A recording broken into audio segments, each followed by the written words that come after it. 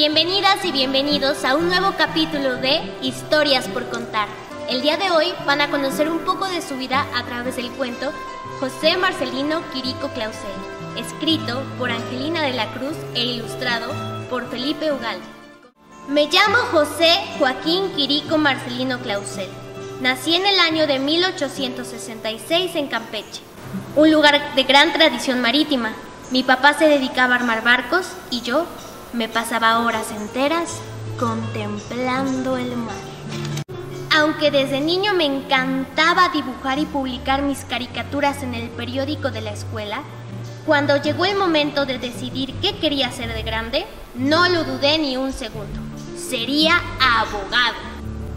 A los 20 años me fui a la Ciudad de México e inicié mis estudios de Derecho.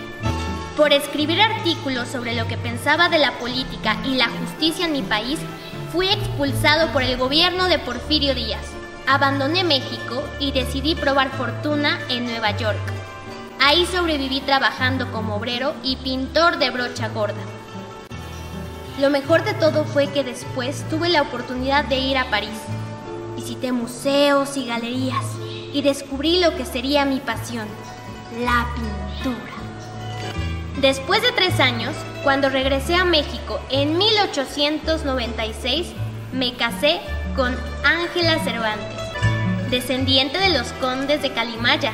Nos fuimos a vivir a la casa de sus padres, que era conocida como la Casa de los Cañones y que hoy es el Museo de la Ciudad de México. Después conocí al doctor Atl y ese encuentro cambió mi vida. Él me animó a tomar la pintura con más seriedad y fue mi acompañante durante mis largos paseos y mis eternos encuentros con la naturaleza. Decidí entonces construir mi estudio en el segundo piso de mi casa. Mi amigo, el doctor Atl, decía que yo me embarraba de colores de pies a cabeza y que gastaba más en el vestido que en lo que podría haber empleado en la tela. Qué bueno que hoy tú puedes conocerme a través de mis pinturas y descubrir cómo gozaba con verdadero deleite del campo la comida y todo lo bueno de la vida. Fin.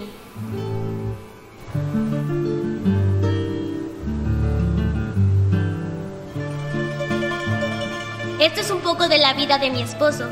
Los invito y las invito a conocer más de él a través de sus pinturas. Estén al pendiente de nuestras actividades culturales que tenemos para ustedes en el mes de noviembre. Hasta pronto. Hacienda es patrimonio cultural.